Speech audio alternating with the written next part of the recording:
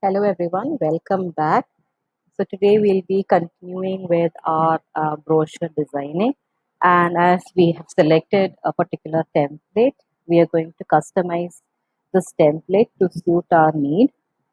So if you want to retain all these, uh, I would say, um, uh, layout, for example, this particular color palette, you are free to use it. Or if you want to change it, of course, you are free to uh, make changes not just to the font but to the entire template. So now here I'm going to begin by keeping the font but I'm going to change the words. I'm going to say world and I'm going to change the subtitle as well. Write something like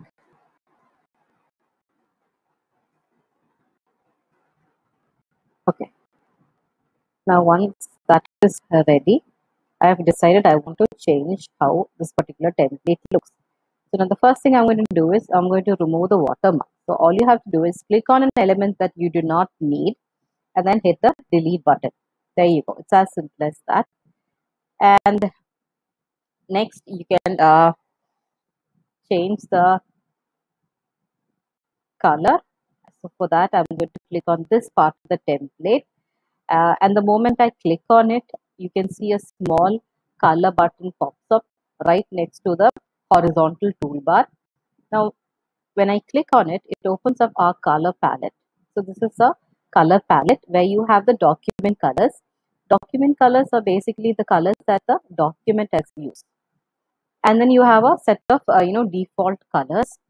But if you're not really happy with any of these, you are uh, free to make your own selection. So all you have to do is click on the palette and then you can make your choice. You can decide and when you are done, all you have to do is come back to your design.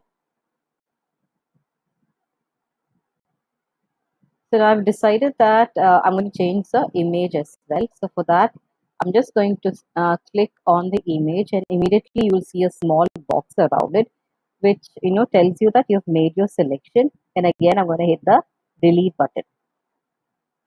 All right. Now when it comes to you know inserting or adding um, photos or elements uh, it does not get better than this. You have a whole lot of options here in our dashboard. So you can see the in our vertical dashboard you have background uh, you have elements photos and uploads but for now, uh, I'm going to just uh, explain the uploads and the photos. Now, when you click on the upload button, a small tab kind of, uh, you know, uh, kind of pops up. Here, what you can do is you can upload an image or a video that you have, uh, you know, uh, which you have in your desktop. So this comes in handy when you have to insert your logo, emblem, or personal photos, or even a video that you have prepared. Next uh, feature is the photos. So here you have millions of photos and I've already, uh, you, know, used or used this keyword environment and immediately I get a lot of, I get results. So here you have a lot of images and you find that there are certain images that are not free. Even if you kind of forget it, forget about it and you kind of, uh, you know, drag and drop those images, immediately it kind of lets you know that these are uh, premium features. You can see it says remove watermarks. The moment you see this, you you kind of uh, know that it's a premium feature, so uh, or image, and you kind of delete it. There's no need for you to uh, go for these uh, premium images when there are uh, thousands of other free images. So I'm going to select this image. So now when it comes to of images, there are two ways of inserting an image. So you can either simply, you know, click left click over here and immediately you'll find the picture, you'll find the image in your template. So now you can resize this photo and you can drag it and you can, you know, uh, put it wherever you want.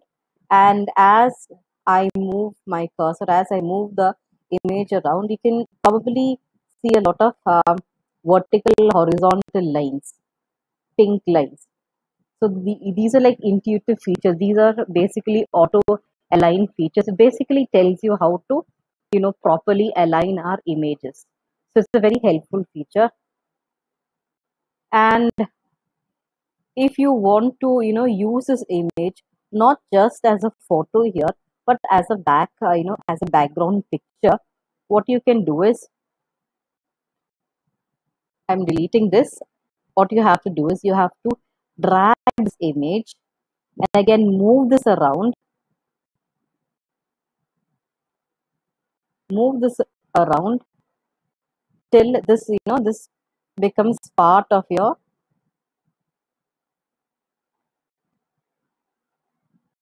background.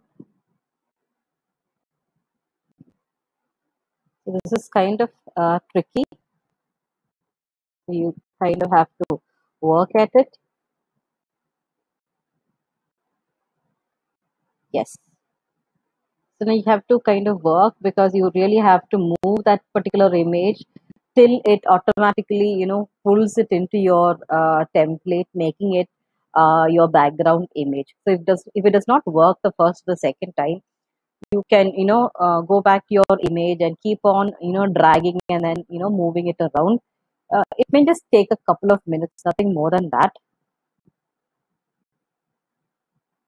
And once you have made changes